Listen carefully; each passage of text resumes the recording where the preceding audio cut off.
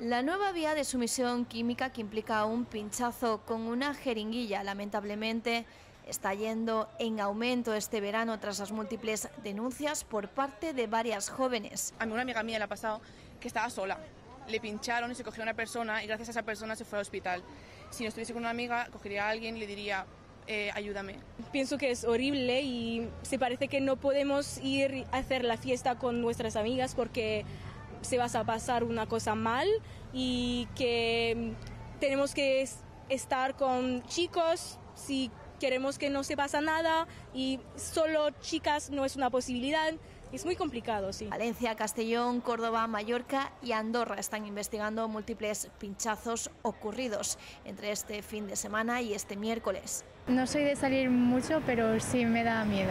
Si en caso de que te pinchen, si vas corriendo al portero de la discoteca o en cualquier caso buscar ayuda que te puedan ayudar, pues al final pues bueno, te vas un susto, pero eso es lo más importante, buscar ayuda lo antes posible.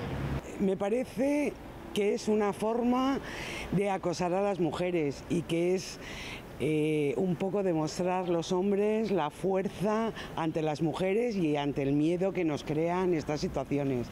Yo tengo hijas adolescentes y me da pánico porque sé que no, que no, no pierdes el conocimiento inmediato y que te da tiempo a avisar y demás, pero es una forma de, eh, pues eso, acosar eh, a las mujeres y es una violación al fin y al cabo.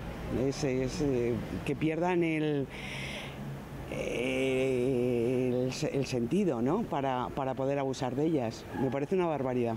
Tras la difusión de estos casos personales en las redes sociales, la concienciación de avisar, poner una denuncia a la policía e ir al hospital son pasos que se están adoptando para notificar estos casos e identificarlos lo más rápido posible ante la peligrosidad de los efectos e infecciones que se pueden contraer.